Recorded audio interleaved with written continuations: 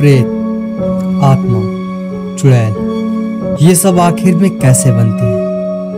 कहाँ से आते हैं? इनका सबसे बड़ा स्रोत क्या है?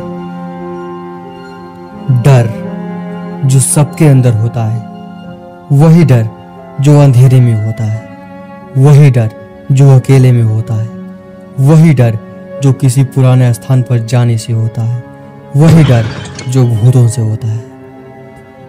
भूत प्रेत चुड़ैल ये सब के सब डर से बनते हैं। Ghost are forward by fear मान लीजिए आप अपने घर पर केवल अकेले हैं। अभी आप अपने घर में निडर हैं। अब कुछ देर बाद आपके दोस्त आकर आपसे डरावनी डरावनी बात करते हैं। अब आपके दोस्त अपने घर चले जाते हैं। तभी आपके घर से लाइट भी चले जाती है।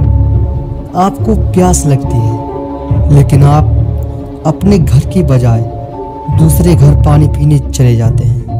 वो कौन था जो आपको अंधेरे में जाने से रोकता था?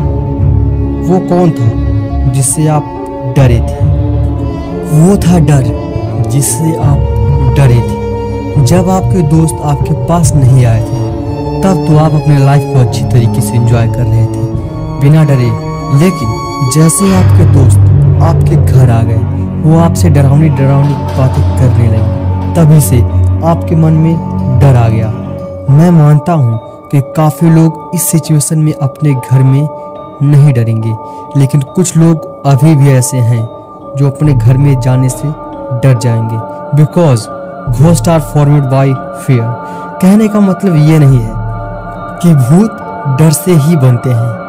जहाँ पर वाकई में भूत होते ही नहीं हैं, वहाँ पर तुम्हें भूत की शंका हो तो बस समझ लेना वहाँ पर भूत नहीं, बल्कि डर है। जहाँ पर लोग दिन हो या रात, दोनों ही सिचुएशन में जाने से डरते हैं। बस वहाँ पर आपको ये जानना है, वहाँ पर डर नहीं, बल्कि भूत है। जहाँ पर तुम्हें केवल रात में डर लगे, वहाँ पर भूत होते ही नहीं, वहाँ पर डर होता है।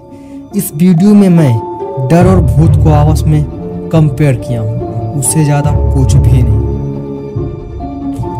क्योंकि लोग डर को ही भूत समझते हैं। जहाँ भूत होता है, वहाँ पर लोग डर जाते हैं और कहते क्या है कि मैंने भूत को देखा, लेकिन वाकई में वहाँ पर भूत होता नहीं।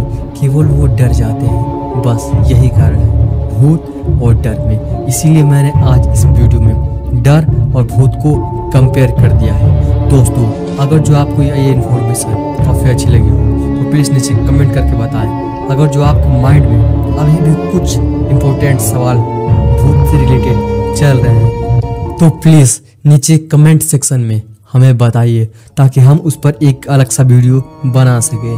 दोस्तों चैनल को सब्सक्राइब करें और बेल आइकन दबाना ना भूलें, और वीडियो अच्छा लगा हो तो लाइक करें।